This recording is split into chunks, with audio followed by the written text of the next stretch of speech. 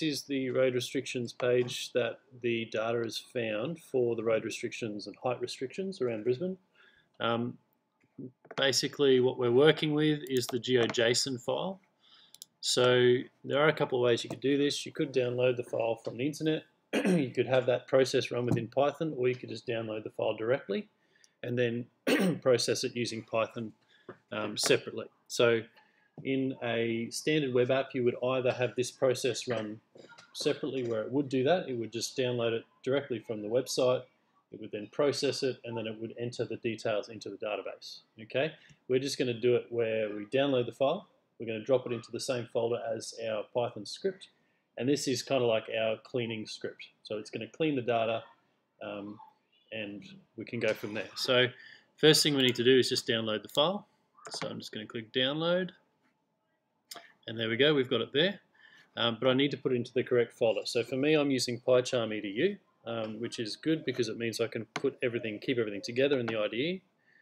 Um, so I'm just going to go here, and I'm going to drop that file into the folder, into there, and it's going to make a fool of me, that's alright. Open in Finder, 2021, and I'm going to drop it in there.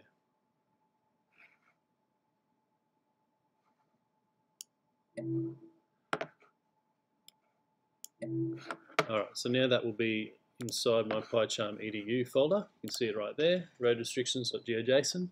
That's downloaded directly from, from the website. So the next thing we need to do, just so that we can get a look at what's going on, we're going to use CyberChef.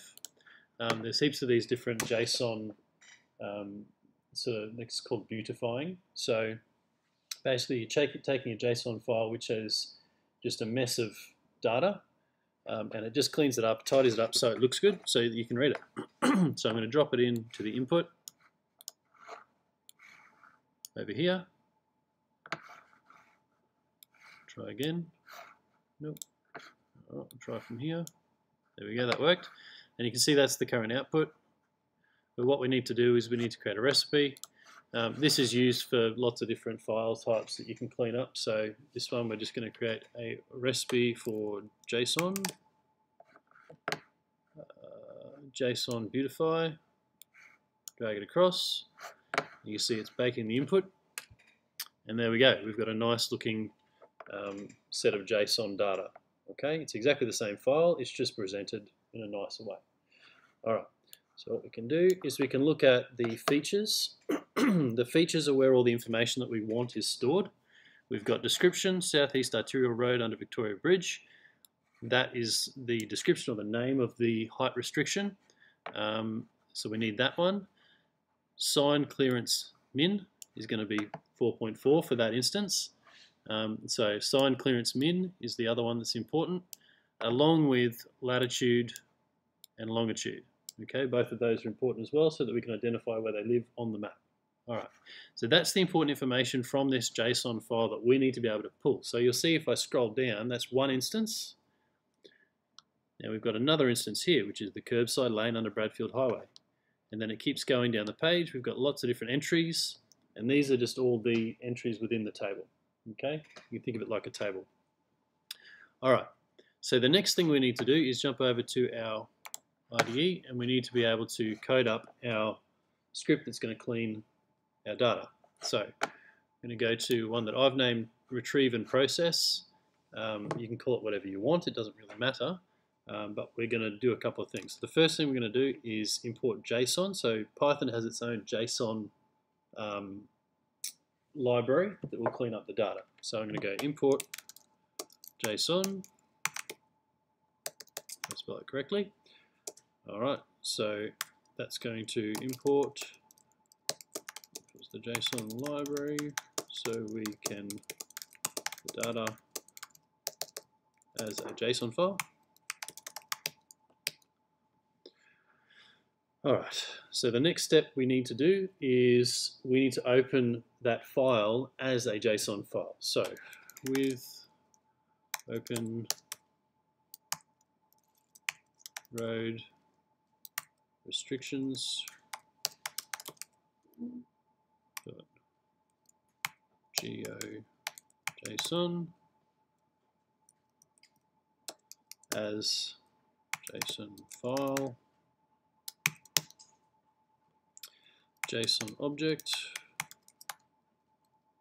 equals JSON dot load JSON file and then JSON file dot close. So basically now what we have is we've got a variable that is a uh, that is a JSON object and it's called JSON object. Okay, so that's what the variable is. All right. So the next step we need to do is we need to do an iteration. So the iteration needs to work its way through that file and look at each one of those entries um, and sort of separate them out. So what we'll do is we will go, we'll do an iteration, which is a for loop. So for feature, and you remember that. Um, so feature is is our variable that we're creating um, in JSON object, and then we're referring to features, and that's all. Sorry, that needs to be double quotes. So we're referring to the features in our JSON file there. Okay, so that's what we're referring to. So for every single one of these features, okay, type feature, feature, um, it will cycle through and read each one of them. All right. So the next thing we're going to do, just to see how it works, see if it is working, we're going to go print feature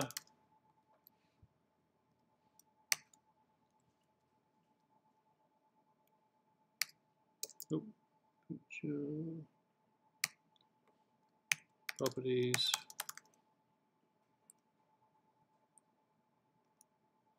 then we want to choose lat okay then we're going to copy that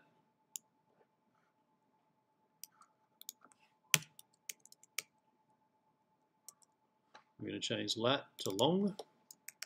And these are these variables here, lat, long, description.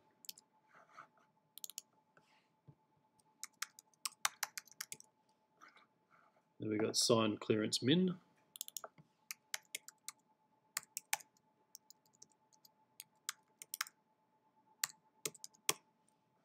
Okay, and basically what that should do is it should work its way through and it should print each one as we go.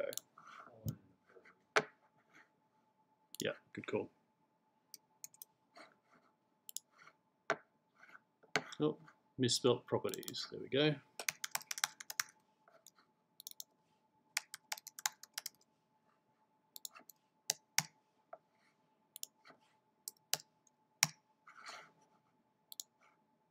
And there you go. You can see we've pulled out the data and we've printed each one of these in that for loop.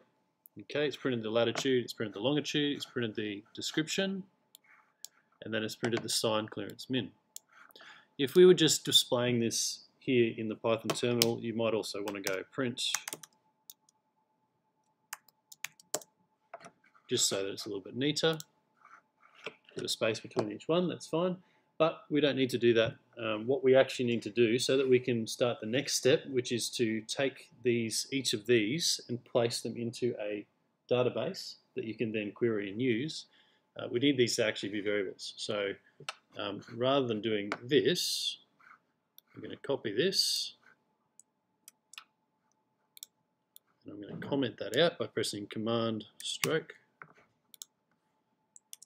And what I want to do actually, instead of loading these, uh, sorry, instead of printing these, I want to load them into variables. So I'm going to go lat equals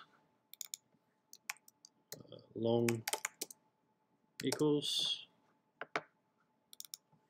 name equals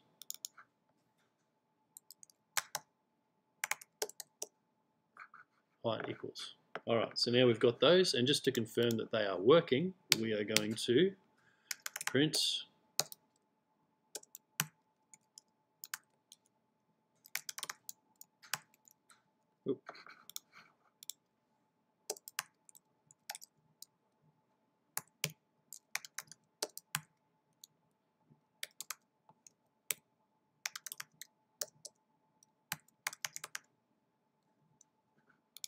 we can confirm that that is functioning correctly. There we go. So we've got the same result, except that now we're actually just printing the variables. So the variables, um, what we need to do in here, and we'll do that soon, but not right now, um, you'll be putting, using a SQL, a query to insert each of those into a line of the table within your database. Okay, and this will be a process that you'll run maybe once a week, once a month, I don't know, depending on how frequently that data is updated on the website. Um, you would just run this and it would um, automatically update the database with any new um, height clearances or delete any that are gone. Okay? All right.